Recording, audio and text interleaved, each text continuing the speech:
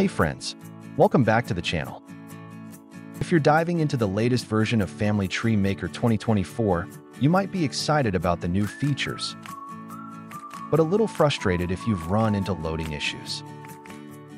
In today's video, I'll share a problem I ran into after upgrading from FTM 2019 to 2024, how I solved it, and how you can too, especially if your tree is getting stuck or freezing during startup. Let's get into it. After installing Family Tree Maker 2024, I loaded up my main tree, about 150 megabytes in size, so not unusually large. Everything converted smoothly at first, and the program seemed to run just fine. But then I ran into a major issue. Whenever I closed the program with the tree still open and later reopened FTM 2024, it would just get stuck while loading the tree. The screen would gray out, and I'd get the dreaded not responding message. The only way out Open Task Manager and force close the program. This wasn't something I experienced in FTM 2019. That version could reopen my tree without any problems at all. First, I assumed the file might be bloated, so I compacted the file, checked for errors, even uninstalled and reinstalled FTM 2024. But no matter what I tried, FTM 2024 kept freezing when opening my tree. Here's where things got interesting. I have Family Tree Maker installed on two Windows 11 machines. One is my main computer where I keep my master tree. The other is a second PC I use for experimenting with backups and updates. On both, I was upgrading from FTM 2019 to 2024. But here's the twist. Only the main computer had the freezing issue. The second computer opened the tree just fine every time. No freezing, no crashing. So what was the difference? On the second computer, I took one extra step. Before installing FTM 2024, I completely removed the old family file used by FTM 2019. Then, I went to my main computer, opened the original tree in FTM 2019, and did a fresh export. I brought that clean export over and imported it into FTM 2024 on the second computer. It loaded perfectly, every single time.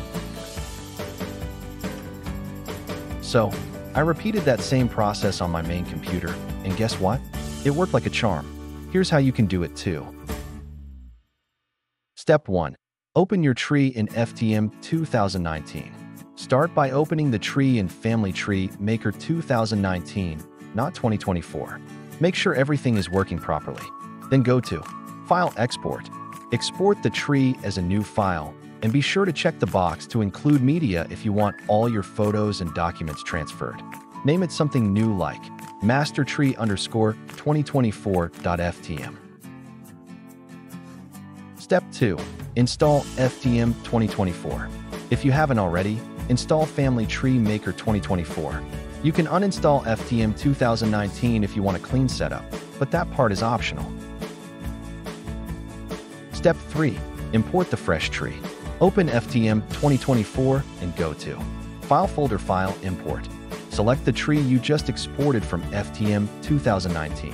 FTM will now build a new version of the tree in the 2024 format, not just convert the old one in place. Step 4. Save and reopen. Once your tree is fully loaded, save and close the program, with the tree still open. Now try reopening Family Tree Maker 2024. Party Popper if it works the way it did for me. The freezing issue should be completely gone. To make sure this wasn't a fluke, I tested this over 30 times. Yes, I counted. Each time, FTM 2024 reopened my tree without freezing. That same 150 megabytes file that used to cause problems now loads like a breeze. So why does this fix it?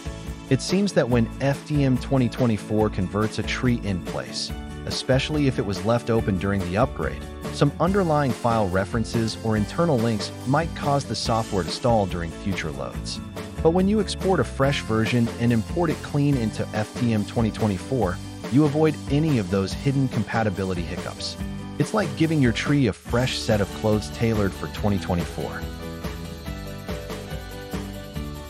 If you're upgrading to Family Tree Maker 2024 and your tree is freezing or crashing on startup, don't panic.